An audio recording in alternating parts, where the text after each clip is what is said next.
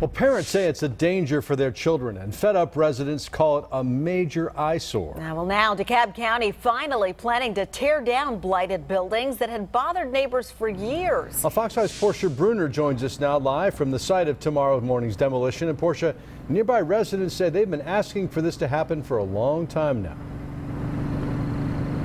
Yeah, and it's a process that takes a long time, right? Because you can't just take a property from an owner and tear it down. It's a long legal process, but I can tell you this sign, a welcome sign to many who live here in Waverly Place.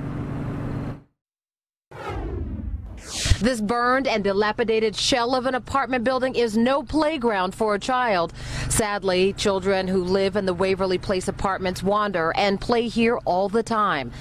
Samia Abdullah is an advocate for immigrants who pay an average of $600 to $700 a month to live in this community off Indian Creek Way and Northern Avenue. Things that just sit in the community with no purpose and it attracts crime. Mm-hmm. And you have children playing hide and seek behind those buildings in unsafe structure. So really this blight creates crime for the community and it creates just an eyesore. Mohammed Najib and Abdullah both live near Waverly Place, and they were grateful to hear DeKalb County officials have finally completed the legal steps necessary to seize the property and have it torn down. Demolition is set for Friday morning. It's been here for at least five years. And looking like this? looking like this uh, before the second time got burned we had some homeless people living in here and it was just like trash really. This property is one of 32,000 inspected last year by DeKalb County code enforcement officers.